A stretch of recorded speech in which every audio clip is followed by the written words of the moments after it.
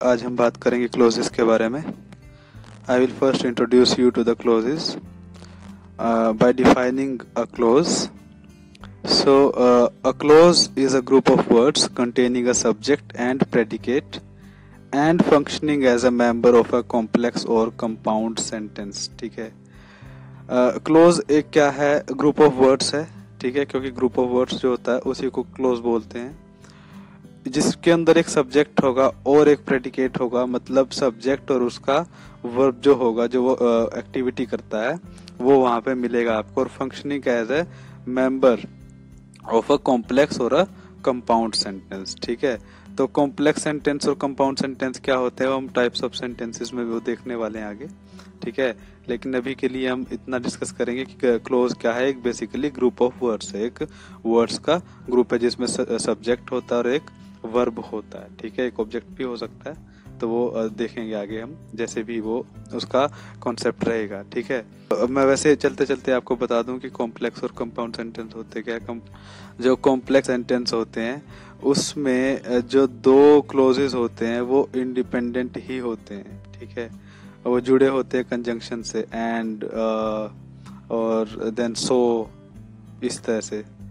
तो compound sentence में एक आपका डिपेंडेंट क्लोज होता है और एक इंडिपेंडेंट क्लोज होता है। सो so, मतलब डिफरेंस इनमें क्या होता है? कॉम्प्लेक्स और कंपाउंड सेंटेंस में इंडिपेंडेंट और इंडिपेंडेंट क्लोज का मतलब जो डिफरेंस होता है वो होता है ठीक है?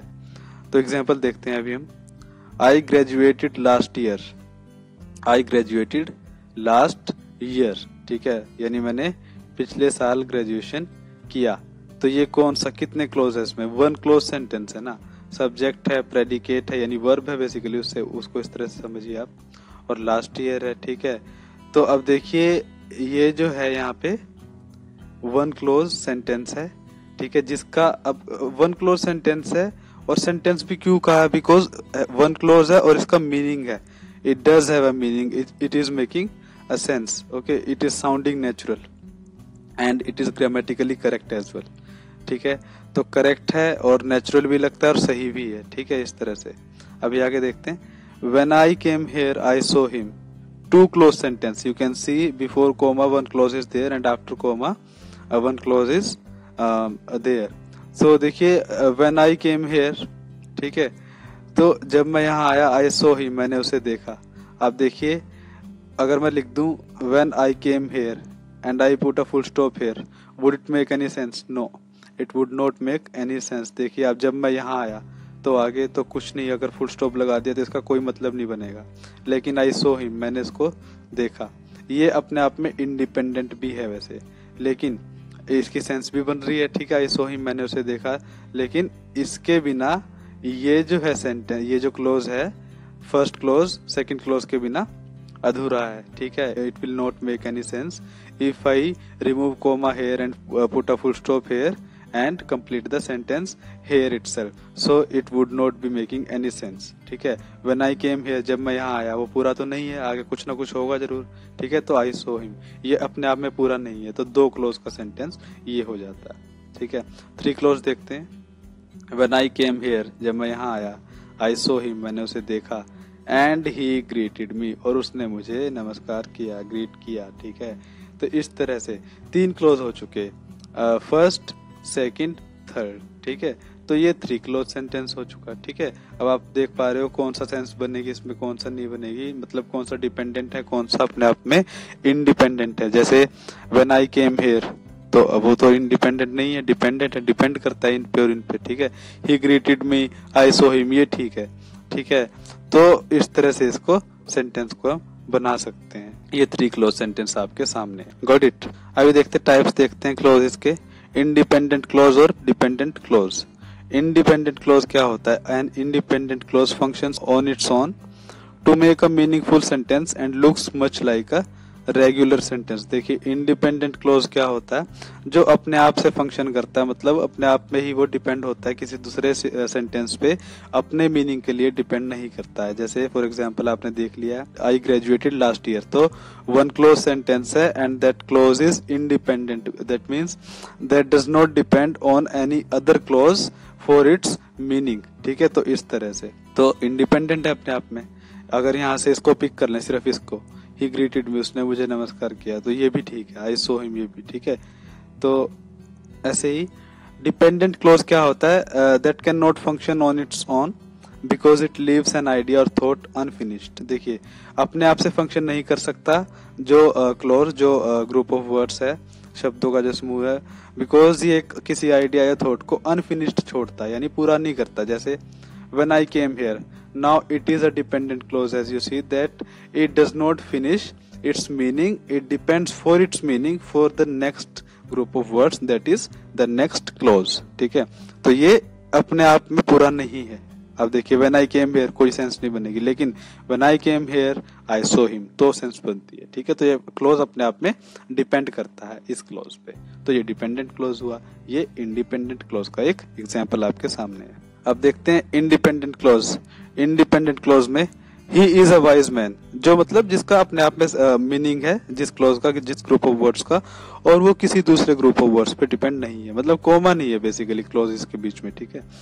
अपने आप में कंप्लीट सेंटेंस है। He is a wise man वो एक वाइज मैन है बुद्धिमान आदमी है। आई लाइक ही मैं उसे पसंद करता हूँ। कैन यू डू इट क्या तुम इसे कर सकते हो? ठीक है? Do it please subject you is hidden ठीक है ना? कि इसे प्लीज़ कर दो। तो यू हिडन इसमें। इन्हीं एड्रेस कर रहा सेकंड पर्सन को तो सेकंड में तो यू ही होगा। I read the whole story मैंने पूरी कहानी पढ़ी। अब देखिए इन सारे सेंटेंसेस में in the in all the sentences you can see that the sentences are making sense and they are not depending on any other group of words for their meaning और to complete their meaning that means they are not living their meaning unfinished तो देखिए grammatically also they are correct and they are sounding natural at the same time making complete sense he is a wise man वो एक बुद्धिमान आदमी complete है?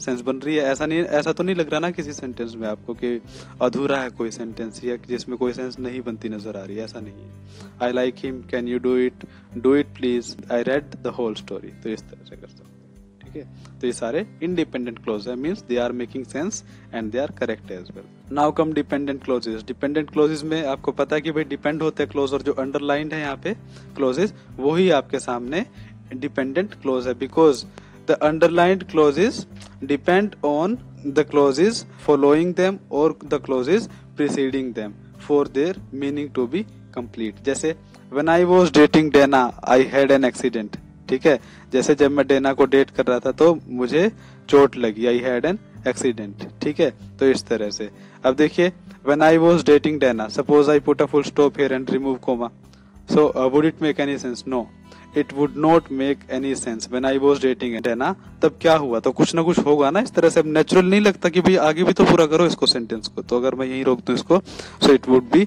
incomplete but it is it is complete and it will make a sense if I add I had an accident ठीक है? When I was dating रहना आई had an accident मुझे चोट लगी उस दिनों। ठीक है? तब? या उस वक्त। ठीक है?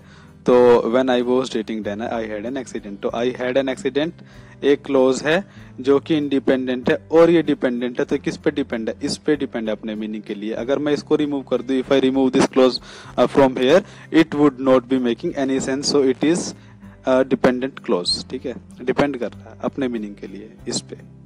I know the man who stole the watch मैं जानता हूँ उस आदमी को जिसने घड़ी चुराई है, ठीक है? जिसने घड़ी चुराई। So who stole the watch अब अब सोचिए हु स्टोल द वॉच और फुल स्टॉप है। तो कुछ सेंस बनेगी? ठीक है? अब सोचिए आप अगर क्वेश्चन मार्क होता तब भी कहीं ना कहीं हम सोचते कि भाई चलो क्वेश्चन है, लेकिन ये फुल स्टॉप है। क्वेश्चन मार्क भी नहीं है। और सिर्फ़ इतना ही सेंटेंस है तो कुछ सेंस बनेगी नहीं। I know the man who stole the watch ठीक है? तो ये जो क्लोज है, अपने मीनिंग के लिए इस पे डिपेंड कर रहा है, ठीक है? यानी जिसने घड़ी चुराई। तो फिर अगर मैं इसको रिमूव कर दूँ who stole the watch will not make any sense तो फिर ये कोई सेंस बनेगी नहीं इस बात की, ठीक है? तो लेकिन ये इस पे डिपेंड कर रहा है तो ये जो क्लोज है अंडरलाइंड डिपेंडेंट क्लोज है। Then he bought a car which was too expensive जो बहुत महँगी थी। सोचिए ही बोट अ कार तो उसने कार खरीदी, अपने आप में सेंस बन रही है, लेकिन मैं इसको हटा दूँ यहाँ से, और मैं लिख दूँ which was too expensive and then full stop ठीक है? Would it make any sense no okay again it will be lacking the sense okay और द नेचुरल फिनिश होता है और नेचुरल साउंडिंग होती है वो उसके अंदर फिर नहीं मिलेगी आपको विच वॉज़ टू एक्सपेंसिव जो बहुत महँगी थी ठीक है? तो क्या था महँगा? कुछ पता नहीं अगर मैं इसको रिमूव कर दूँ ठीक है? इसको हटा दूँ यहाँ से तो लेकिन इसको ऐड कर दिया तो इस, इस इसका क्लोज का एक मीनिंग बन जाता है ठीक है? अगर इसको रखे रहते हैं यहाँ पे हम रखे रखते हैं ठीक है? तो ये डिपेंड कर रहा है ना इस क्लोज पे अपने मीनिंग के लिए इसको हटा दो तो इसका कोई मीनिंग नहीं है तो डिपेंडेंट क्लोज हुआ। निर्भर कर रहा है। I know that he can not do it कि वो उसे नहीं कर सकता।